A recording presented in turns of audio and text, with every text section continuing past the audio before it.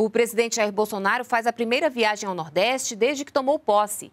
Ele cumpre a agenda hoje em Pernambuco. Em Recife, participa da reunião do Conselho Deliberativo da Sudene, a Superintendência de Desenvolvimento do Nordeste. Luana Karen já está na capital pernambucana e tem as informações para a gente. Bom dia, Luana. Bom dia. Na reunião da Sudene, o presidente Jair Bolsonaro e os governadores dos nove estados do Nordeste e do Espírito Santo e Minas Gerais vão avaliar o Plano Regional de Desenvolvimento do Nordeste. Esse plano traz um conjunto de projetos que tem por objetivo promover o desenvolvimento da região.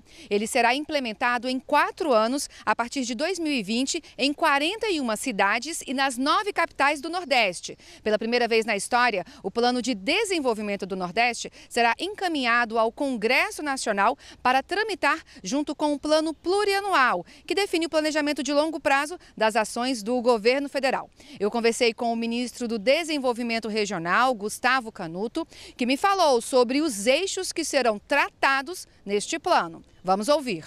A ideia é melhorar a infraestrutura logística, a gente fala de portos, aeroportos, estradas, a infraestrutura produtiva, então você entende os arranjos locais produtivos, sistemas produtivos, tenta -se identificar as rotas de produção, também educação, que é importantíssimo, e ciência e tecnologia.